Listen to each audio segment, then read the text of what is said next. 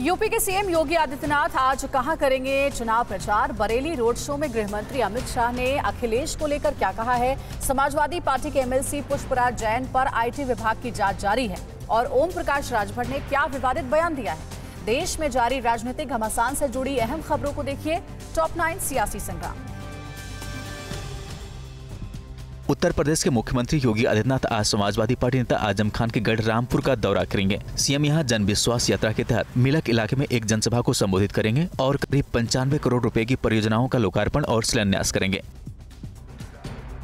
केंद्रीय गृह मंत्री अमित शाह यूपी के बरेली में बीजेपी की जनविश्वास यात्रा में शामिल हुए। रोड शो के दौरान गृह मंत्री ने एसपी अध्यक्ष अखिलेश यादव को निशाने पर लिया और कहा कि समाजवादी इत्र प्रदेश में दुर्गंध फैला रहा था। बक्से भर भर कर नोट निकल रहे हैं। शाह ने पूछा कि आखिर काला धन रखने वालों के खिलाफ कार्रवाई पर अखिलेश क्यों परेशान हो रहे हैं? उत्तर प्रदेश में समाजवादी पार्टी के एमएलसी पुष्पराज जैन पर आयकर विभाग की जाँच जारी है। आईटी की टीम पंपी के घर, कारखाने, पेट्रोल पंप व कोल्ड स्टोरेज की जाँच कर रही है। कन्नौज, कानपुर और नोएडा समेत कई जगहों पर छापेमारी की गई। स्थानीय अधिकारियों को कार्रवाई से दूर रखा गया है। आयकर विभाग की छापेमारी से यूपी की सियासत में हड़कम मचा है।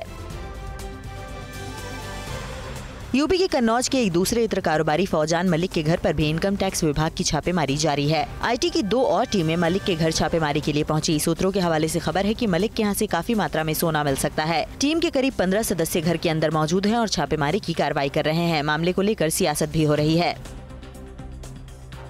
यूपी के कारोबारियों पर छापेमारी को लेकर बीजेपी और एसपी के बीच राजनीतिक आरोप प्रत्यारोप का दौर भी जारी है छापेमारी पर सवाल उठाने पर केंद्रीय वित्त मंत्री निर्मला सीतारमण ने एसपी अध्यक्ष अखिलेश यादव पर हमला किया और कहा कि अखिलेश को गलत करने वालों पर आरोप लगाने चाहिए, न कि कानून लागू करने वाली एजेंसियों पर आरोप लगाएँ। इससे पहले एसपी एमएलसी पुष्पराज के यहाँ छापेमारी मामले पर समाजवादी पार्टी अध्यक्ष अखिलेश यादव ने टीवी नाइन भारत वर्ष से बातचीत में कहा कि समाजवादी पार्टी के लोगों को डराने की कोशिश हो रही है। दिल्ली से लखनऊ तक बीजेपी का प्रोपोगेंडा चल रहा है। अखिलेश ने बीजेपी पर सेंट्रल एजेंसियों के दुरुपयोग का आरोप लगाया और चुनाव आयोग ऐसी सियासी बदलाखोरी के लिए जारी छापेमारी आरोप रोक लगाने की मांग की। यूपी के हरदोई ज़िले में बीजेपी युवा मोर्चे के सम्मेलन में पहुँचे कन्नौज से बीजेपी सांसद सुब्रत पाठक ने समाजवादी पार्टी पर हमला किया और कहा कि वंशवादी और परिवारवादी राजनीति हमारे भविष्य के लिए संकट है। इसके अलावा उन्होंने कहा कि एजेंसियाँ कार्रवाई कर रही हैं तो अखिलेश क्यों नाराज़ हो रहे हैं? सुहेलदेव भारतीय समाज पार्टी के अध्यक्ष ओम प्रकाश राजभर ने एक बार फिर विवादित बयान दिया है। चलो तेरे दो मंत्री पानी में के में राजभर जौनपुर के शाहगंज विधानसभा क्षेत्र में चुनावी जनसभा को संबोधित कर रहे थे पूर्व क्रिकेटर वीरेंद्र सहवाग की बहन अंजू सहवाग आम आदमी पार्टी में शामिल हो गई हैं। पार्टी के राष्ट्रीय महासचिव पंकज गुप्ता और विधायक सोमनाथ भारती ने शुक्रवार को उन्हें पार्टी के मुख्यालय में सदस्यता ग्रहण करवाई अंजू 2012 में कांग्रेस के टिकट पर दक्षिणपुरी एक्सटेंशन वार्ड से एमसीडी का चुनाव जीत चुकी हैं।